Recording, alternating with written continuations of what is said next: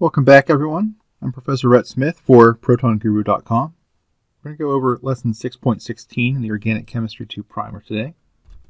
And the subjects for today's lesson are alpha halogenation and the haloform reaction, two reactions that involve addition of species to the alpha position of a carbonyl. In our last lesson, we talked about ways to alkylate this position and how it's able to be deprotonated by addition of a base. Here we're going to talk about, first of all, how to install a halogen at that position. And a way to conceptualize this reaction mechanism is to think about, like I talked about in the last lesson, the keto-enol tautomerization. Remember that you have a small amount, very small amount of the enol form at any given time for a ketone or aldehyde in this process. And when we have that, and think about what type of reactivity we could have between this species and a halogen. Let's consider bromine. Now, we know that an alkene will react with bromine like this. Now, generally, one of the steps is a lone pair from the bromine coming back down to make a bromonium intermediate. But we don't need a lone pair from the bromine. We have a lone pair on the same molecule from the O.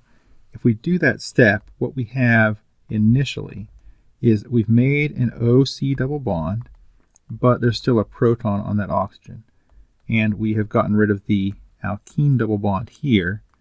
We've made a bond to a bromine, and we have the Br minus. This would be this bromine that accepted electrons over here, right?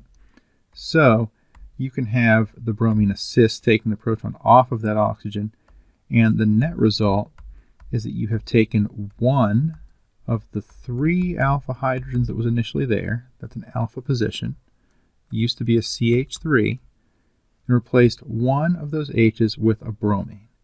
This is the alpha halogenation reaction.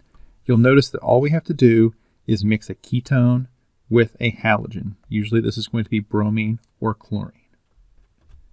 Doing the reaction in that way, we don't need a base to help us take the H's off of the carbon at the alpha site if we do add a base and a halogen, well, the base is going to help us remove more than just the one H from the alpha position. In fact, the product that we get when we do this reaction is actually a carboxylate. You'll notice that carbon is completely taken off of this ketone. How did that happen? We'll have to figure that out. And we have a CHX 3 molecule, where X is going to be fluorine, chlorine, bromine, or iodine. And these types of molecules, HCX3, where X is a halogen, are called haloforms. And the specific haloform name depends on which halogen we have. The most common or most familiar to most people might be chloroform, where it's HCCl3. So we have fluoroform, chloroform, bromoform, or iodoform. So we have this equation, and we see if we try to balance this, we figure out where the x's have gone. We have the O that is going to end up being this O. We have basic conditions, so I've not shown this as a carboxylic acid. I've shown it as the carboxylate. You could add a second step where you could neutralize this. But let's take a look at the mechanism of this. Well, if we have a base that's the most reactive reagent here. It's going to take one of the H's off of the alpha position. So I would initially expect to have the enolate. Well, if I have a minus charge on a carbon or an oxygen, depending on which of the resonance contributors we use, we could draw a step like this. Now, if we choose to draw our enolate in this resonance contributor, we could draw the reaction of the alkene with the bromine, or the halogen. So I'm going to continue the way I've drawn it down here. Either way, you'd get the species initially. Now, that is the first species we get. However, if we have base left, we will see that this alpha position actually features more acidic H's than we had at the start. At the start, you have this alpha position. Here we have a halogen allowing partial positive charge there that makes it even more attractive to be deprotonated by that base. So then we will have an enolate that looks like this, where we have one of the H's left now, minus charge, and we can react that again with the halogen. And again, we could choose to draw it out with this arrow pushing form as well. I'm just going to keep it simple for this demonstration. But you see we've added two X groups at this time.